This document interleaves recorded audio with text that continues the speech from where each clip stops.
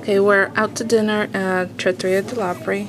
Polly has a goofy smile on his face, but uh, see, he has focaccia bread, uh, all made in house, uh, cheese. What did she call that? Cheese. Everything but the sink. Oh, the st- breadstick Yeah. and white bean dip, With, uh, um, infused olive oil, and unsalted butter. And here's mine. Cheesy. Beet salad. Oh, so good. Oh, wait.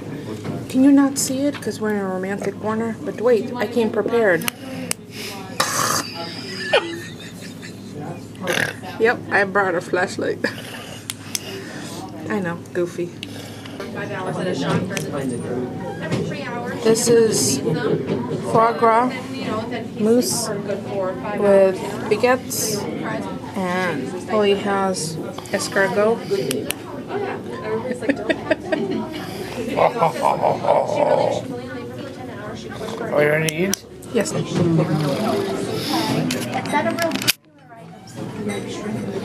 Looks like a real good dish. Thank you. You're welcome. Bill, if you wanted a cocktail. Unless one.